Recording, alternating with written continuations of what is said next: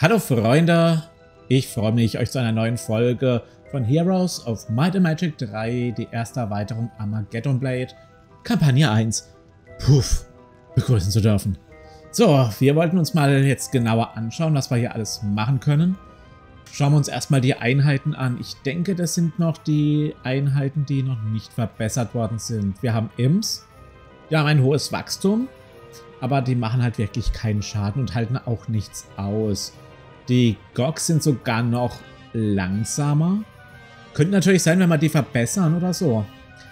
Dass die danach noch mal einiges besser sind natürlich. Machen aber auch wenig Schaden. Die Höllenhunde sind ja in Ordnung von der Geschwindigkeit, haben halt kein großes Wachstum. Machen jetzt aber auch nicht so viel Schaden, aber ich ja, die Dämonen selber, die sind natürlich, machen, ja. Also Grottenteufel finde ich auf jeden Fall schon mal gut. Die machen, haben gute Gesundheit, machen gut Schaden. Die Efred sind auf jeden Fall gut. Die gefallen mir auch sehr, sehr gut. Und die Teufel. Aber die haben halt wahrscheinlich alle einen relativ kleinen Wachstum und Efred und Teufel können wir noch gar nicht machen. Aber ich glaube, das werden unsere drei Haupt, ähm, Hauptstreitmächte sein, solange sie zumindest nicht ähm, verbessert worden sind. So. Das da ist jetzt das wir bauen können in der Stadt. Die Zitadelle, Verteidigung, erhöht das Wachstum. Das ist natürlich schon mal nicht schlecht. Dann können wir da mehr Wachstum reinmachen. Taverne ist klar, Schmiede ist klar, Marktplatz ist auch klar. Magiergilde ist klar, da haben wir bisher nur Stufe 1. Was ist der Orden des Feuers? Zauberfähigkeit erhöhen, wenn man ihn besucht. Also das ist auch nicht schlecht. Die Schwefelwolken. Verteidigende Helden. Also, das ist für die Verteidigung da. Ah, das ist cool. Wenn ich das richtig verstehe, haben, können wir diese Städte mit dem Schlossportal reinsetzen und dann können wir hin und her springen von diesen einzelnen Städten. Das hat was, das hat was. Das sind Imps, äh, Imps erhöhen. Also die Wachstum.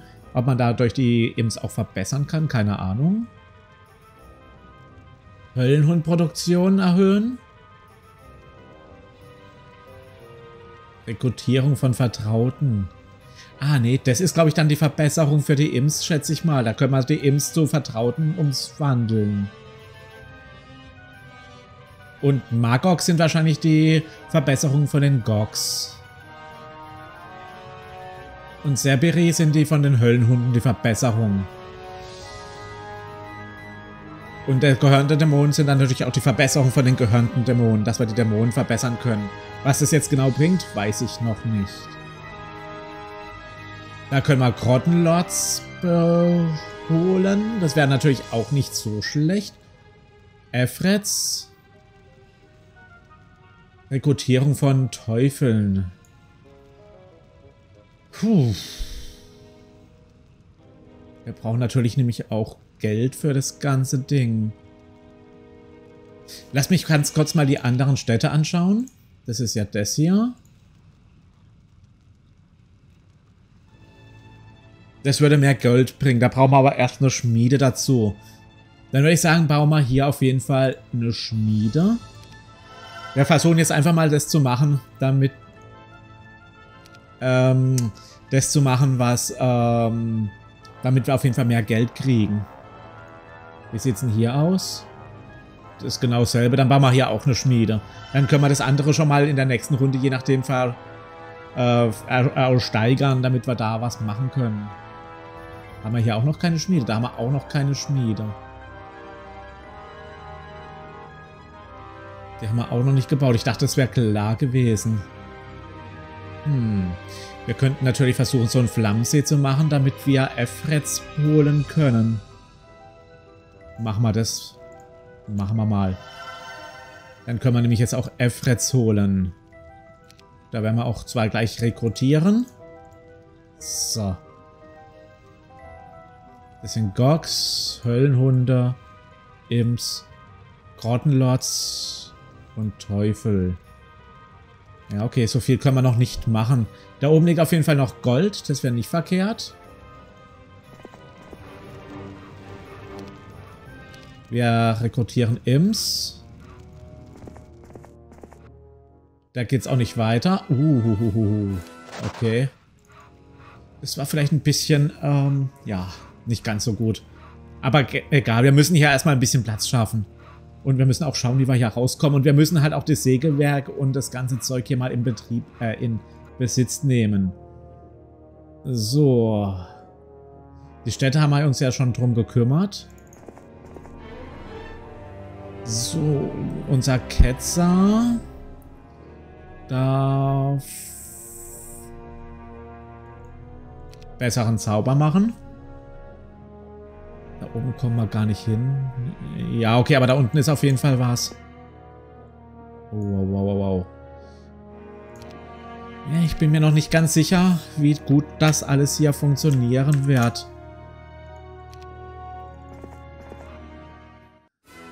Oh, ja, also das lief auf jeden Fall schon mal sehr gut.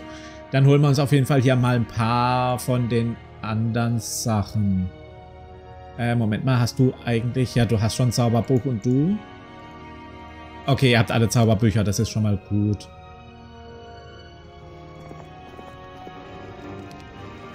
So. Ja, ich sehe im Moment noch nirgendwo, wo ähm, so eine Säule ist, dass wir besser erkunden können oder so. Na gut, müssen wir mal schauen. Dann machen wir es halt per Hand. Auch gut. Mit einem Bampf und einer Schwefelwolke teleportiert sich Xex her, ein Bote, den du losgeschickt hast, um einen Weisen zu finden. Sex hält einen kleinen Menschen mit dunklen Zügen in einem buschigen Schnurrbart äh, und einen buschigen Schnurrbart in seinen Händen. Der Mann staubt sich ab, als könne er einfach den giftigen Gestank der dämonischen Teleportation wegwischen. Bist du der, den ich suche, Mensch? Slen schaut ein wenig nervös, aber er verbeugt sich tief und antwortet, ich bin es, Weiser und Historiker des Arkanen. Sag mir alles, was du über die Konfluxhelden weißt, die mir die letzten Wochen ausgewichen. Auswichen. Ich werde wissen, was ich werde wissen, was du weißt, oder ich reiße das Herz aus deiner Brust und benutze es als Zwischenmahlzeit. Slan schlug schwer und antwortete, es sind Fior und der Dämone Dom, äh, Fior aus der Domäne des Feuers, Celi vom ewigen Wasser und Erdamon aus der Ebene der Erde. Von Sela und Erdamon haben wir ja schon gehört gehabt. Und Fior, glaube ich, auch, oder? Hm. Fior bewachte den Schild des Verdamm der Verdammten, Seel, den, das Höllenfeuerschwert und Erdoman die Schwefelbrustplatte. Wenn richtig miteinander verbunden, können diese Artefakte in eine mächtige Waffe verwandelt werden, auch bekannt als das Schwert Armageddon. Exzellent, Mensch. Du lebst vielleicht eine weitere Stunde und nun sag mir, wo ich diese Helden finden kann. Du trommelst deine Fingerspitzen in überlegener Manie aufeinander. Viua ist im Südwesten, aber ich kenne die Position der anderen beiden, nicht eurer Unheiligkeit, sagt Slen. Aber ich wäre sehr dankbar und sehr geehrt, wenn ihr mir die Aufgabe geben würdet, die anderen beiden zu finden. Nun gut, Weiser, aber wenn du mir diese Information nicht innerhalb einer Woche gibst, werde ich Sex hier zu dir schicken, um mir dein noch schlagendes Herz zum Abendessen zu bringen. Und nun, geh! Mit diesen Worten schnappt sich Xex den verängstigten Weisen und bampft weg. Du lächelst böse und rufst deine Captains. Fiora ist nahe und diesmal kann, äh, und kann diesmal nirgendwohin flüchten. So, wir holen uns auf jeden Fall erstmal das hier. Ah, ich bin mir nicht sicher, ob er erst nach Norden gehen soll oder ob er hier unten bleiben soll. Ah, ich glaube, ich bleibe tatsächlich erstmal hier oben. So. Stein des Lernens. Da haben wir noch einen, also einen Gelehrten. Wir bekommen etwas Wissen. Das ist ja schon mal gar nicht so schlecht. Eine uralte Hexe, die in einer seltsamen Hütte wohnt, heißt uns willkommen und wir lernen einfaches Pfadfinden. Das Knistern magischer Energie. Ah, Schande. Ich weiß nicht, was er... Ja, wir machen mal Zauberkraft. Ich weiß nicht, was wir mit dir hätten brauchen können. Ah, doch, das ist... Das war ganz gut. Okay. So. Dann äh, Hauptstreit macht mit dir. Das holen wir erstmal das hier. Dann holen wir hier... So. Xeron hat eine höhere Stufe. Dämonika. Angriff plus 1 kriegen. Wir kriegen entweder meisterhafte Führung oder einfache Offensive. Wir nehmen die einfache Offensive mal. Und holen uns dieses Ding. So, und jetzt müssen wir nochmal schauen, was unsere Städte denn alles so machen. Ich wollte eigentlich die Stadt anklicken. So. Ich wollte hier... Wir könnten natürlich die Schmiede bauen. Ne, wir bauen erstmal dieses Ding hier. Um Efrets zu holen und zu rekrutieren. Ah, nee, halt. Das ist, äh, das ist eine Verbesserung. Das ist die Verbesserung vom Efred zu den Efred Sultan. Höhere Geschwindigkeit. Höhere Verteidigung. Ja, höhere Verteidigung. Ja, das ist doch schon mal gar nicht mal so schlecht gewesen, meiner Meinung nach. So. Und bei euch wollten wir doch das Stadtrathaus jetzt bauen. Dann bringt es schon mal ein bisschen mehr Gold ein, anstatt nur diese 1000. So. Dann gehen wir mal hierher. Pfad finden. Äh, da kommen wir irgendwie anders hin. Dann schauen wir uns vielleicht... Ah, genau. Das ist das, was ich die ganze Zeit schon haben wollte. Ah ja, hier geht's in die Landen, in die grüne Landen sozusagen. Aber da können wir noch einiges hier uns anschauen. Ja, die Frage ist, ob wir das mit dem machen sollen oder ob wir das mit Xeron machen sollen. Wir gehen kurz hier rein. Roddenlords haben wir keine F-Reds hier. Nee. Aber dann holen wir uns noch die drei von... Huch. Waren das keine Cottonlords? Ach ne, das sind Cotton Teufel. Cotton Lords sind da noch ein bisschen besser. Okay. Okay. Und die können wir wahrscheinlich noch nicht verbessern, oder? Nee, leider noch nicht. Ja, hier können wir noch nicht so wahnsinnig viel machen.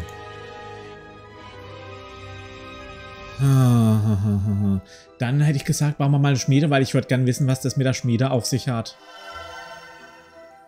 Ja, kriegen wir jetzt ein bisschen mehr Geld. Aber wir können nicht mehr bauen. Also das ist auch schon alles gewesen, was wir hier bauen können. Dann hätte ich gesagt, bauen wir hier eine Rohstoffsilo. Dann kriegt man nämlich ein Quecksilber pro Tag. Das ist doch schon mal gar nicht so schlecht. Und das werden wir wahrscheinlich auch hier nochmal bauen. So. Ist die Frage, sollen wir versuchen, das zu machen oder gehen wir erstmal hierher? Hm. Ich glaube, ich lasse die erstmal und wir gehen erstmal einfach mal hier und genau und machen hier ein bisschen was. So, und bei dir...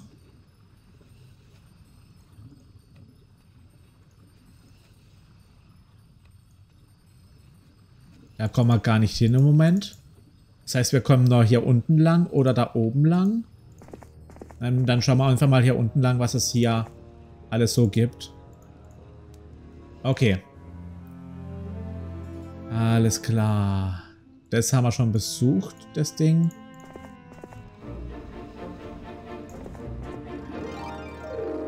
Wir haben ein Götzenbild gefunden. Mhm. Okay, sehr schön. Ja, ich weiß einfach nicht, ob er vielleicht... Ja, wäre das schon alles... Nee, das passt schon alles. So, Angriff plus 1. Ah, Moment, Moment, Moment. Wenn wir schon da sind, dann können wir auch da noch lang gehen. So. Wir rekrutieren Gox. Und Dämonen. Und erledigen hier. Dann kriegen wir noch Geld. Geld. Und hier noch eine Mine. Und das ist auch eine Sackgasse. Das heißt, unser einziger Weg, der hier rausgeht, führt eh hier lang. Okay, alles klar. Dann noch die Städte. Wie sieht's denn hier aus? Beziehungsweise gehen wir doch mal erst in unsere Hauptstadt hier rein.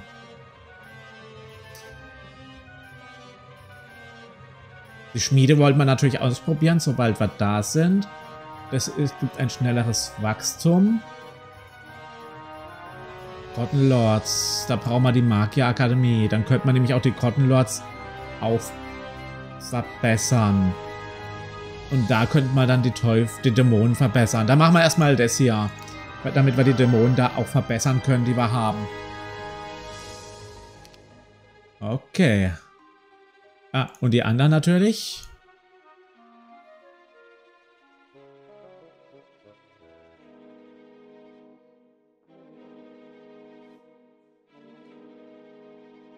Verteidigung. Zauberfähigkeit. Produktion erhöhen, Produktion erhöhen. Und das andere sind die aufsteigende Dinger. Hm. Ich würde sagen, das sollte man vielleicht Nee, da fehlt uns anderes Zeug. Geld haben wir eigentlich.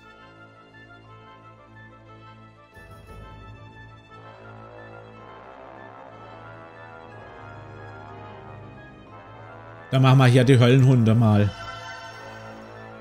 Und hier machen wir auch die Höllenhunde, weil die sind ja gar nicht mal so schlecht, meiner Meinung nach.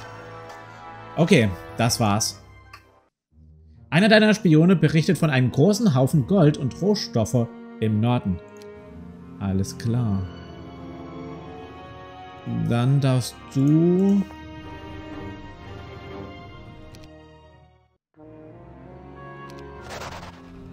Wow, hat es jetzt uns das Leben gekostet. Ah, verdammt. Das war nicht gut, dass wir das so gemacht haben. Äh, kann ich nochmal laden? Du speicherst doch auch immer hier. Ja, gut.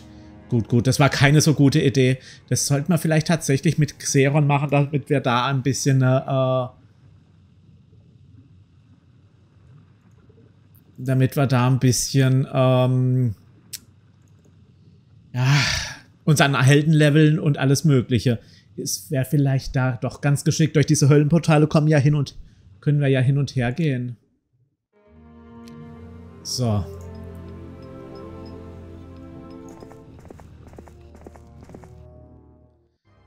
So, jetzt können wir doch... Äh, nee, Höllenhunde können wir noch nicht verbessern. Was, was, was wir hier geholt haben als letztes? Ach ja, die Dämonen waren das. Dann können wir die Dämonen, zugehörenden Dämonen machen. Die sind schon ein bisschen besser. Das sind Grottenteufel und das ist noch ein Teufel.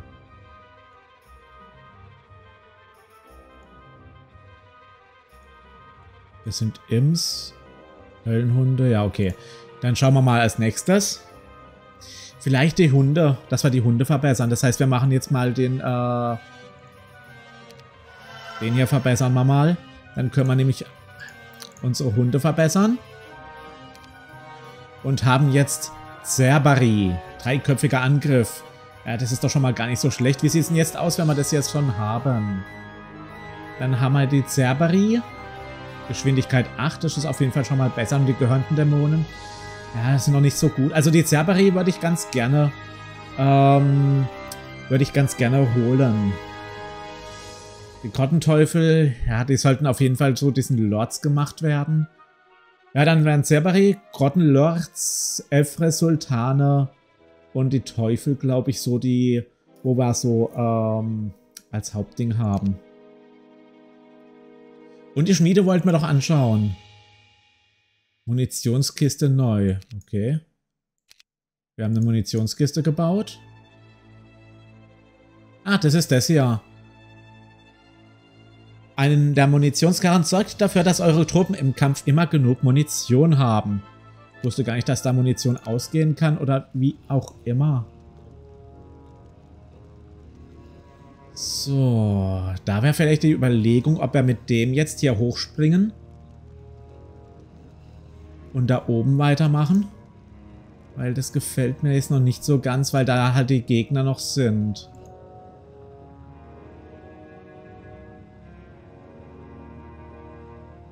Ah, nee, das gefällt mir nicht ganz so gut.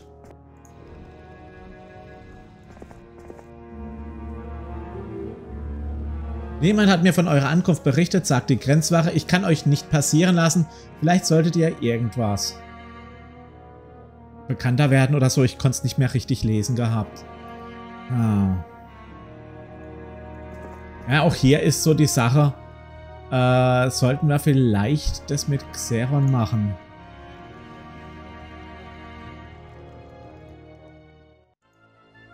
Ah, das war nur die Munitionskiste, genau. So, wie sieht es dann hier aus? Die Zitadelle wäre natürlich nicht schlecht.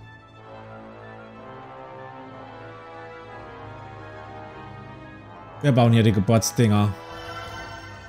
Und hier wahrscheinlich genau dasselbe. So. Äh, ja, bitte mach mal. Gut. Jetzt ist die Frage... Wir können noch weitere Zerbri holen.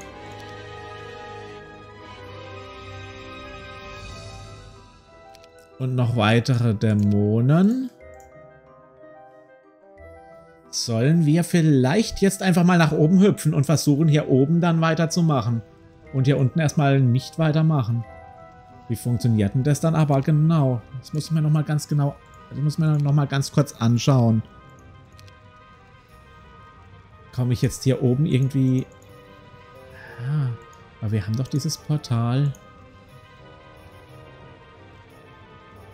Orks, Sultane... Schlossportal. Ah, genau, so können wir hinspringen. Ich will nach oben. Das hier. Das hier ist Mon Morningdale. Okay, dann probieren wir mal aus, wie das funktioniert. Wo war es jetzt? Schlossportal. Morningdale. Ah ja, und jetzt sind wir hier oben. Sehr schön. Dann können wir hier oben mal ein bisschen weitermachen und hier ein bisschen die Gegner... Ja, du blockierst mir den Weg hier gerade. Geh mal ein bisschen aus dem Weg. Und hier machen wir einfach mal mit dir hier oben weiter.